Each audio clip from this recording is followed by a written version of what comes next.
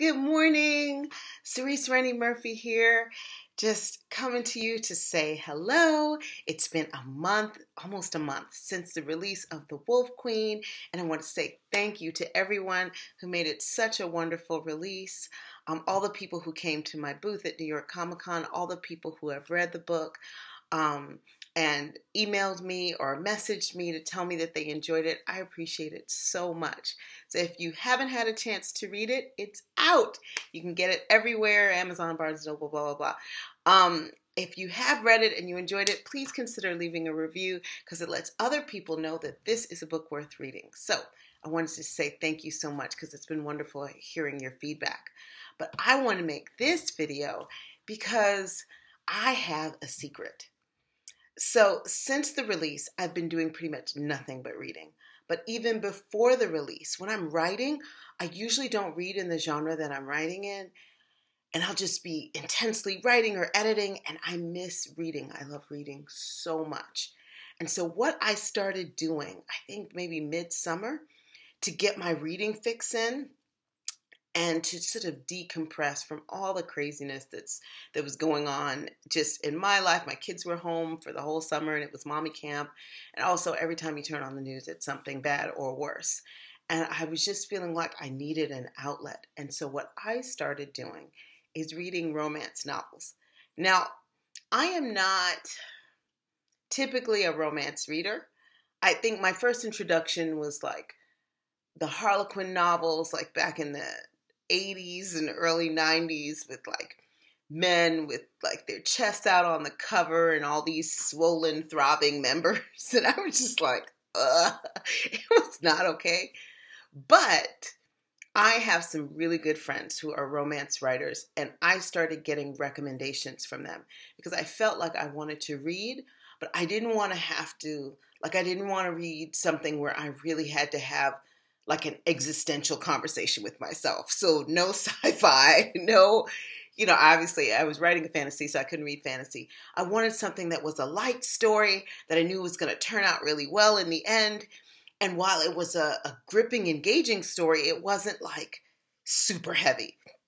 So I started getting these recommendations for romance novels. And I just have loved it so much. My ritual is usually like on a Friday night, I will download something onto my Kindle app and um, just start reading it. And I will stay up all night. And usually I'll be finished by like four in the morning. Because I read, I mean, I, I can just read a book in a day if it's not like an existential crisis kind of book. I can, or something really deep where you, a mystery where you have to figure things out. I can really like go through a book in a day. And it felt like such a treat. It was an escape. It was a great story. Everybody ended up alive and happy at the end. And um, it just became this huge stress reliever for me. So, what I wanted to do with this video is take some time to recommend to you and share with you some of the great books that I've been reading if you want to try my de stress tactic. So I don't have a Kindle because I refuse because I love books. But it's easy when you're up late at night and you're trying not to wake everybody else. Just read on your phone. So one of the books that I've been reading, I don't know if you can see here, is Beverly Jenkins. Beverly Jenkins writes historical fiction, um, African American characters like in the Wild West and in the frontier and all this really, really amazing stuff and amazing history but it's all sort of romance. Um, and so I, I read Topaz, I read Breathless. I don't know if you can see that. Yeah, see, there's no no uh, no shirt on, dude. Um, really, really great stuff. Let's see, my favorite one. Uh, let's see. Ugh, I can get this. Is Indigo. I just finished it. It's so good. That's probably my favorite. Um, I read The Kiss Quotient. Can you see that right there? Um, by Helen Hoang. I think I said is how you say her name. It's about a young woman who is on the spectrum of autism, and she has a really hard time making relationships and connections. And she decides to hire a male escort to teach her how to have better sex and to relate to the opposite sex.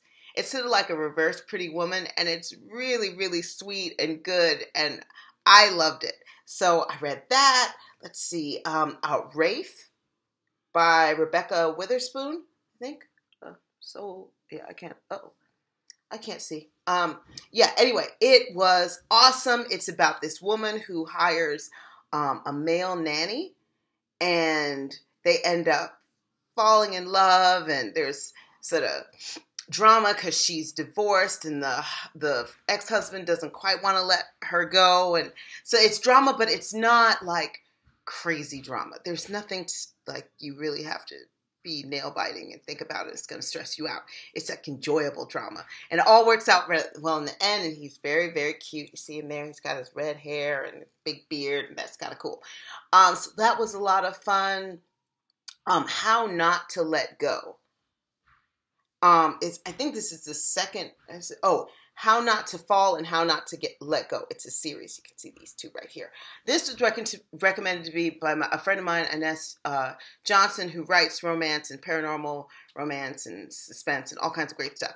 Um, and she, this writer, whose name is hold on, let me see, Emily Foster. This is an old book series, but it was written um, in response to like Fifty Shades of Grey. Um, and just feeling like this she read it the author read it and she felt like i can definitely you know go deeper and, and do a better job here.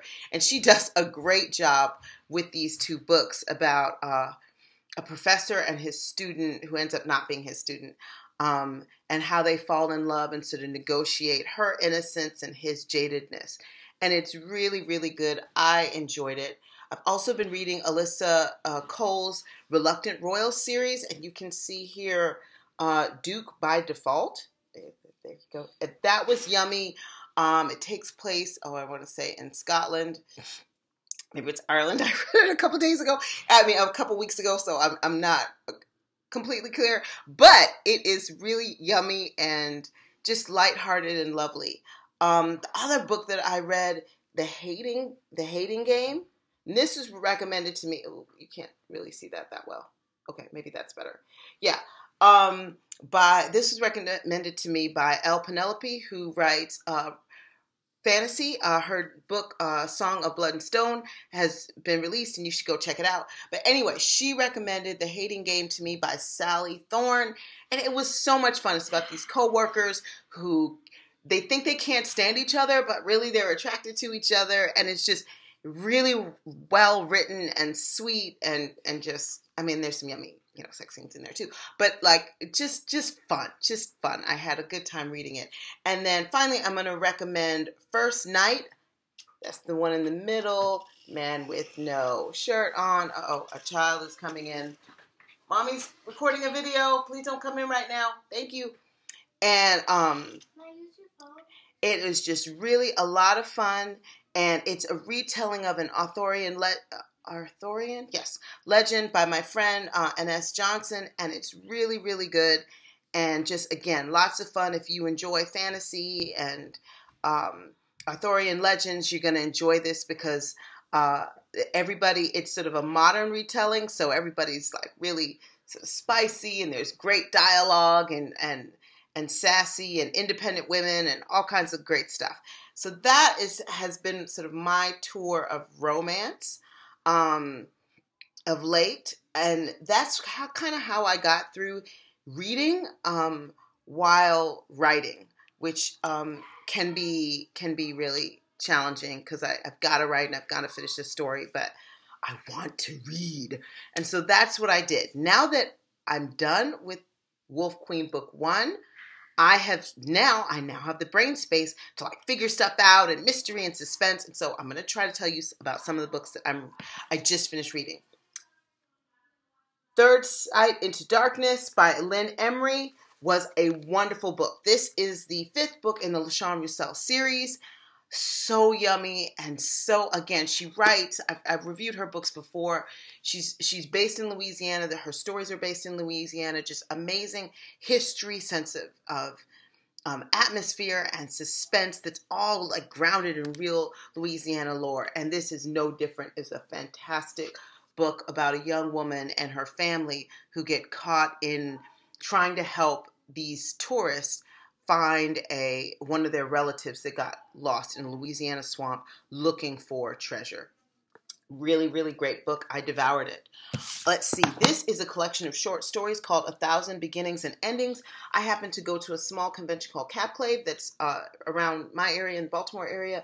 And um, I met uh, an author by the name of Alyssa Wong, and I read her short story out of here, and it was amazing. Um, it's all sort of stories based in Asian mythology and legend. It's a really, really great collection of books. I mean, of stories. Um, I also read Naomi Novik's uh, Spinning Silver. Uh, it's a fantasy about a young woman who uh, is a money collector and ends up uh, incurring the interest and the wrath of an ice god and who wants her to change all their silver into gold. And that's all i can say but it was it was definitely a really interesting and uh, yeah fascinating read. So i enjoyed that. Let's see. Um, I have also been reading uh, Harry Potter, which I never read before.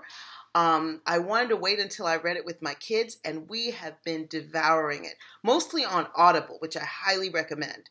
Um, but we just finished the fourth book, Goblet of Fire, and I finished it before the kids did because I could not wait. We have the books and the audiobook series, so I am starting this yes, I'm start, starting Order of the Phoenix, which is kind of funny because whenever I type in Order of the Seers on um, on Amazon, by the time I get to Order of the Order of the Phoenix always comes up. So I'm finally getting to read the book that always preempts my book. but um, I'm really excited about it. The kids don't know that I have started this. But yeah, I'm really excited. I can't wait for them. This is I, have it's just it literally was one of the joys of our summer reading Harry Potter. So so so much fun. Okay, I'm going to be reading The Road to Neozone uh, by Anna Tambour. I cannot wait to read this. I'm expecting it to be completely off the wall and crazy because it's published by Obsidian Sky, which uh, is Zigzag Claybourne's uh, publishing company. He wrote The Brothers Jetstream, and if you've never read that, you should. But I will tell you, it is like a crazy ride. He describes it as sort of Buckaroo Banzai inspired. I would say Buckaroo Banzai like on acid. That's kind of how it is. So I'm expecting lots of weird things from this book, but I dig weird, so I'm really looking forward to it. Um, the Black God's Drum. It's short, as you can see it, so I'm looking forward to devouring this like in an afternoon. I'm so excited. Um, it's a fantasy novel, and I, I I just love the cover, and I was like, I'm getting that. Um, and then the last thing that I oh, oh, oh I have a whole pile of books, so I, I always this I've been meaning to read for a while. Um, there is no lovely end by Patty Templeton. I was just at the World Fantasy Con and I met her and I didn't have the book for her to sign, but it's okay. I'm reading this, so that is what's on my list. This video is almost over 13 minutes long. Thank you so much for listening. This is what I've been reading. If you have great recommendations for stuff that you have been reading, please respond with a comment below because I would love to hear it. I am working on book two of The Wolf Queen. I'm outlining and plotting and all kinds of great stuff. I've already got the prologue written in my head for book two. So I've got just a couple weeks more before I have to buckle down and start writing, which means no more fantasy. So I would love to hear your recommendations for stuff that you're reading. Thank you so much for listening, and I hope that you have a great time. Vote if you haven't already. It's so important. This is our government. We are the people.